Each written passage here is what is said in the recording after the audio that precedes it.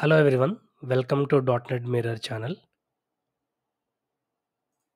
Today let's understand how you can deploy an ASP.NET application which is interacting with SQL database.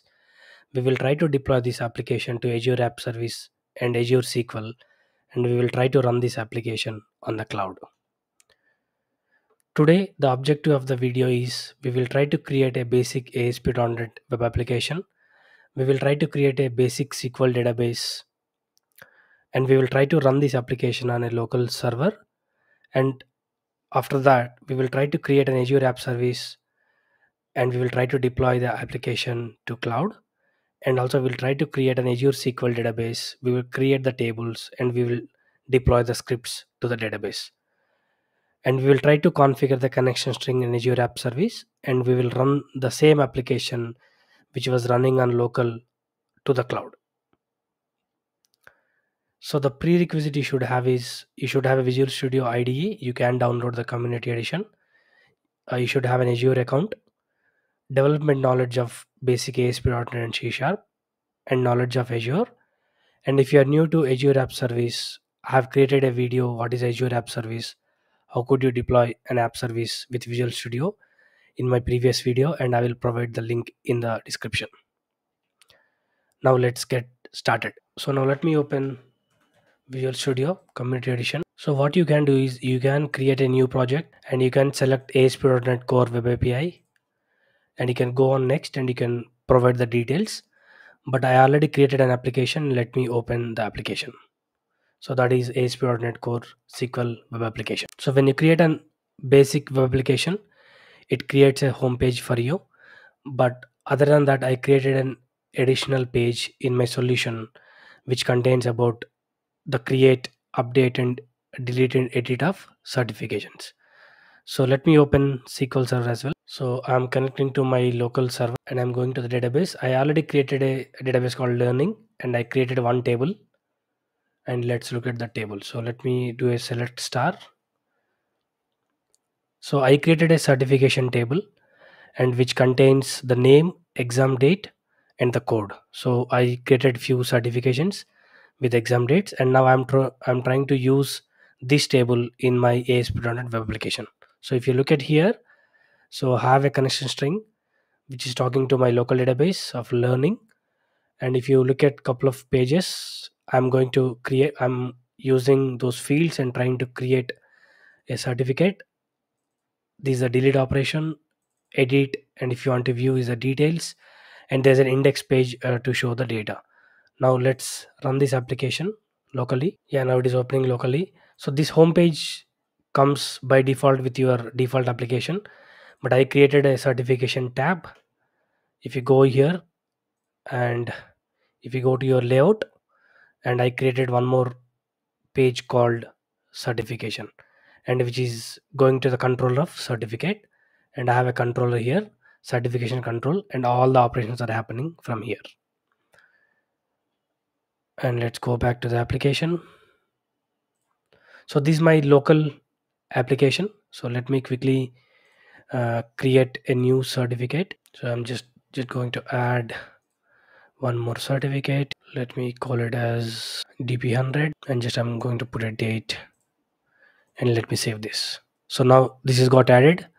Now if i go to my database if i run this this dp100 got added right likewise you can do edit operations you can do delete operations and everything should work now this is the application which is running locally which is using ASP.NET web application and SQL Server.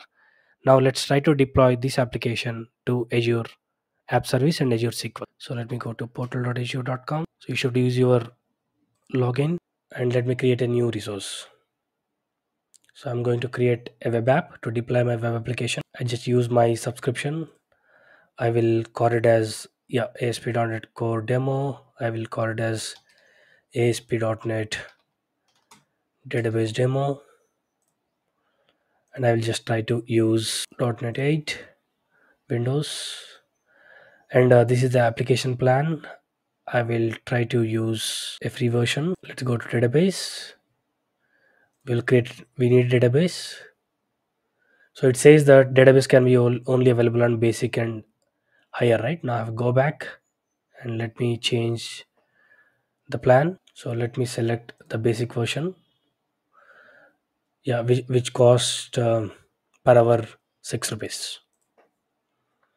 So now let me go to database create a database. For now let's, let's ignore this. We will create uh, manually. So let's go to deployment uh, there's no cd required networking nothing is required monitor you can ignore and just you can ignore all other items and just review and create. Now this creates a basic uh, asp.net core web app app service. So now in the meanwhile let me open azure again. So it takes a few minutes for validation and getting into deployment. So meanwhile let's create the database as well. So i'll create a sql database. I'll create new let's select the same resource group where our app service is there. Let's put a server name. Let's create a new server. So let's select the location as same as app service which was canada central. We will use sql authentication. Make sure this username password are noted. So you have to use in your connection string. Now our workload is development uh, make sure you're because this is a basic application i will just uh, try to change the configuration to basic. Meanwhile let's go to the sql server. Let's go to the resource group. Yeah we see here we have app service plan app service and sql server. So let's go to the sql server. Now our database is ready. So let's click on the database. You can go to query editor so i will use my password to connect. Okay it is not accepting. Let me use my so let's go here. So let's add my ip so i'm adding my client ip and also you have to select this so that your azure app service can talk to this. Yeah this is done. Let's go back to the database. Let's go to query editor. Because now i added my current mission ip now it is getting connected. Now let's run the script in azure sql database. Let me go to the local.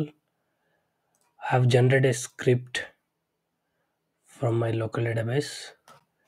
Let's run this. Data is inserted. Let's check if data is available. Yeah now the data is moved to cloud. Now let's try to deploy the web application to azure app service. So let's you can go to the solution explorer right click and click on publish. Add a publish profile. My azure account is already got connected so let me select azure azure app service windows. So it will try to fetch your app service. So this is our app service. Click on next let's click on finish. So as it has a service dependency so let's connect this as well. Let's pick up azure sql database. Let's select the sql database which we created. Let's put our username. Now this will go and uh, save to azure app settings. Click on next. Finish. Now our connection string is validated and it is connected now let's deploy this application. It is deploying the application to our azure app service. Now the publish is succeeded. So this is the url and it automatically opening our application. So this is the home page. Go to certification. Now you can see that this data is fetched from azure sql database on the cloud. So let's go and insert one record here. So let me take one aws certification. Yeah let's pick up this. So let's take it as aws certified cloud practitioner. I'm going to certification. I'm going to add this. The code i'll put clfc01 and let me put a date 18th let's create. So now you can see that this is aws is available on cloud.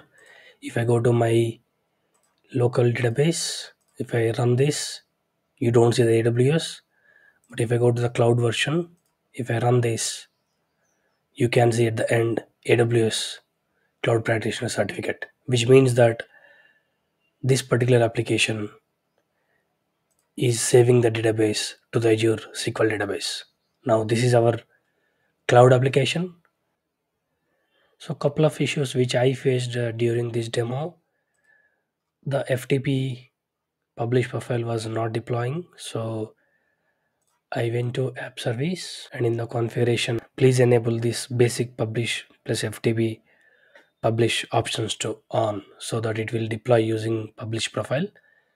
And also if you want to check your connection string go to environment variables and uh, go to connection string and make sure this connection string is correct so you can take connection string from your sql database. So you can go to sql server sql database and see connection strings. And you can take this connection string and simply put it into azure app settings. And you have to replace your password. Now with this we are done with the demo where we create an application locally deployed to azure app service azure sql and we have in the application running on the cloud. Thanks for watching the demo. Please subscribe to our channel .NET Mirror. Please give a like button to share to multiple users. Please share with your friends and click on bell notification to get new videos. Thanks for watching.